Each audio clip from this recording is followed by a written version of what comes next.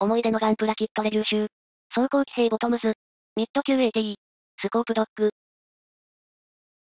何かを求めて戦場に来る者。その日の飯にありつくために引き金を引く者。そして、荘園と死臭の中でしか生きられない俺。ここは神の住処じゃない。ただの瓦礫の山だ。スコープドッグとは、アニメ、装甲騎兵ボトムズに登場する、ギルガメス軍のミッド QAT なんだ。愛称は、昔っからスコタコである。ボトムズ、いや、今やボトムズシリーズでは、主人公キリコキュービーが愛用しているほか、登場人物の多くが、スコープドッグの改造機や派生機で活躍したんで、装甲騎兵ボトムズの顔と言ってもいい AT である。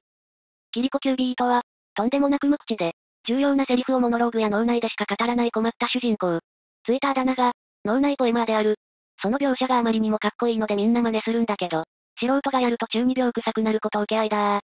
スコープドッグは、全高4メートル前後のロボット兵器なんで、初登場以来、2分の1や実物大で、現実の板金工や造形作家がたまに制作したりしてニュースになったりしたもんだよ。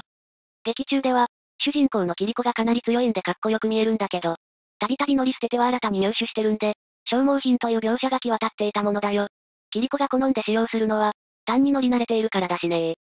敵としては、それこそ大量に登場して、大抵蜂の巣にされてパイロットともどもやられていくんだけど、ボトムズではそれが当然なんで、V ガンダムのようにトラウマになったりはしないのださてキットですが、当時の値段は300円でした。48分の1キットは、傑作と名高い24分の1や35分の1の陰で、地味に発売されていたビギナーズ向けのキットである。300円という低価格なんで、関節の一部をオミットして、各部を簡略化しているのが特徴なんだ。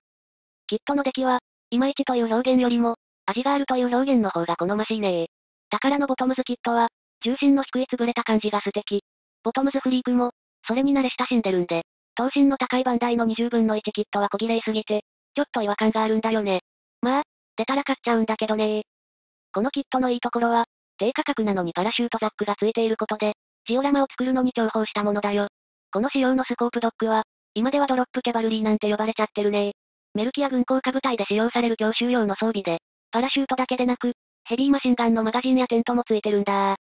当時はこのキットにお手製のパラシュートをつけて、近所の自殺の名所から落としたりしたもんだよ。後ですんげー怒られたんだけどね